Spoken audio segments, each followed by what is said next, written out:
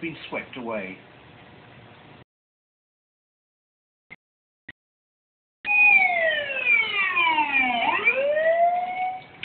Rescue teams from 45 countries are now on standby as Japan begins to assess the full effects of the catastrophe which will test its preparations and its national resolve to the limits. Robert Hall, BBC News. Well, let's get the latest now live from Japan. Our correspondent Roland Buerk is in Tokyo. And uh, Roland, in a way, it's not over yet, is it? I mean, the strong aftershocks have been shaking Japan all through the night. Yes, we had one uh, about uh, two minutes ago. There have been dozens in the 15 hours since the big quake uh, hit. The most serious about an hour ago in the Nagano and Niigata area over on the other side of Honshu.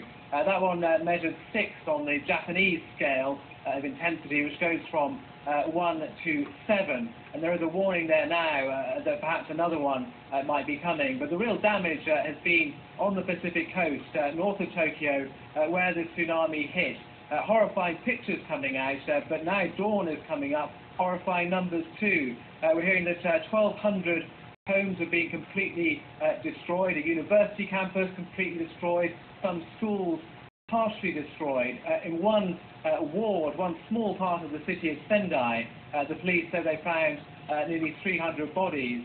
and in another town on that coast, 300 homes were engulfed by water that swept in at rooftop height.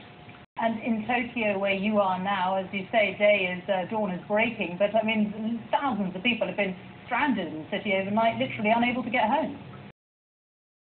Yeah, I'm looking uh, around me here. People uh, in the offices around who've been uh, camped out on the floor all night are starting to stir. Uh, many people who live uh, anywhere nearby chose to